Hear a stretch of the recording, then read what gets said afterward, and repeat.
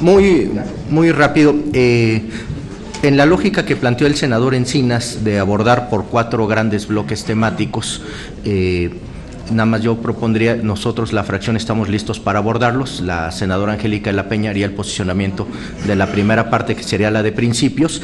Y nuevamente, y presente en, atención a lo que ha venido comentando el, doctor Kaiser, mucho de, lo, de las inquietudes que han sido manifestadas están ya consideradas en nuestra propuesta que desafortunadamente no fue integrada. Si vemos tanto en el artículo 11 en las facultades del, del presidente del tribunal, vienen desahogadas muchas de estas inquietudes.